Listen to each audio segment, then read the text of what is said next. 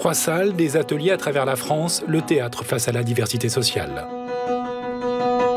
Donc c'est un programme quand on l'a créé, on n'était pas sûr de notre coup. On est parti d'un constat que simplement la société française, pour aller vite, n'était pas représentée sur les scènes de théâtre euh, en, ce qu'elle était. La lutte contre la discrimination, voilà la grande affaire de premier acte pour sa troisième année. Les auditions se déroulent entre Grenoble, Paris et Strasbourg. Et sur le fond, les discriminations ne se limitent pas à la seule couleur de peau. Euh, dans le premier programme, on avait un jeune homme euh, qui, disait qu'il était discriminé dans sa sexualité, son orientation sexuelle. Il y en a un autre qui, euh, qui, parlait d'antisémitisme. Atelier d'acteurs, premier acte veut avant tout une courroie de transmission au-delà de la lutte contre les discriminations.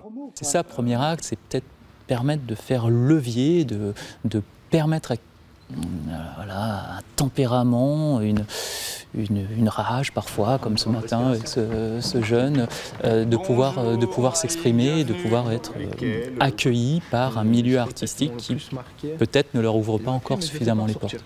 Par exemple, mon accent marseillais fait que je suis discriminé.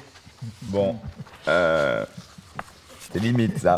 Hein Demain, rencontre et premières auditions par le jury de premier acte. On va commencer Je suis un peu stressée, pardon. On va commencer. Oh, décontractez-vous. On est ravis que vous soyez là. Tout va bien. Euh, on va peut-être commencer.